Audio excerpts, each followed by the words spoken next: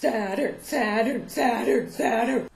The place where Saturn is in our birth charts is where life is going to teach us the greatest lessons.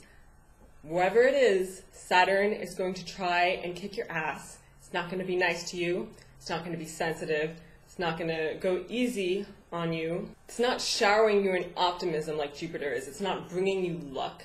It's bringing you challenges. And through those challenges, are where you can have the greatest success in life. So, don't let Saturn kick your ass.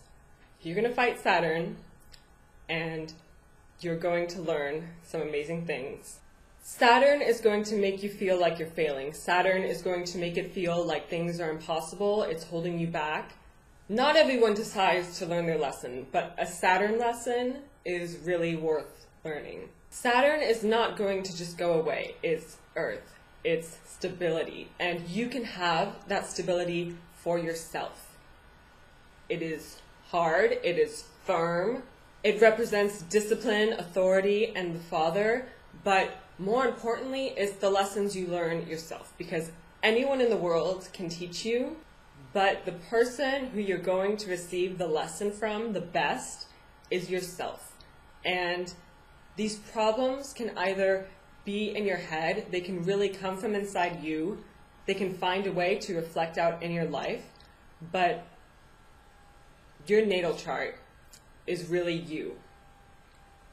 It's not anybody else, it's you. It's things that exist in your mind, it's things that you make happen in your life.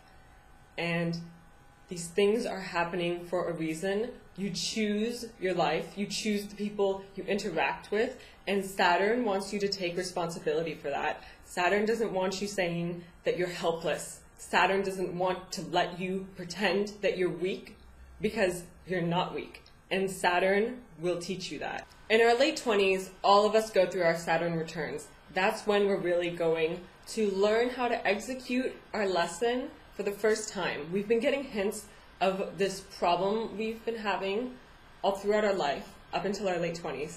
After our late 20s is when we're supposed to learn how to deal with it. We're supposed to be more mature. And that doesn't mean Saturn's going to stop kicking your ass. Saturn's going to keep kicking your ass throughout your entire life. And you can't ever ignore it. You can't ever say, oh, I'm okay. I'm just going to hang out in my comfort zone from now on, now that my Saturn return is over hard work, and taking charge are going to bring you the greatest success.